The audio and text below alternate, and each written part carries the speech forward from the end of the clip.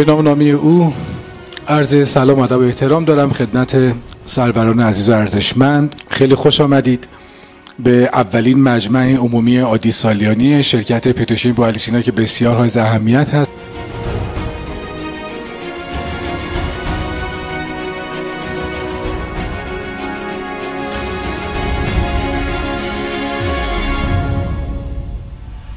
همینجوری که ملاحظه میفرمایید حدود سه برابر شده سود شرکت نسبت به سال گذشته.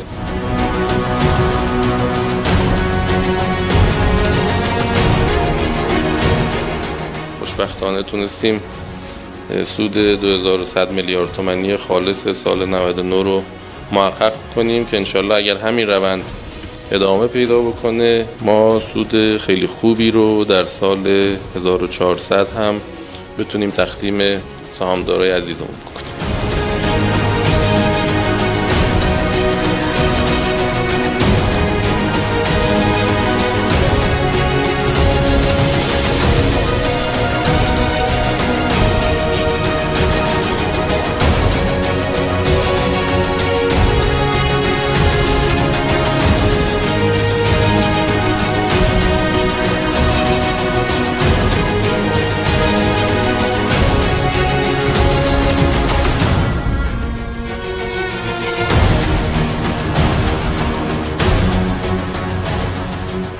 خیلی متشکر امیدواریم که سال آینده بعد از رفت شدن این بیماری حضورا در خدمت همه سهامداران عزیزمون باشیم.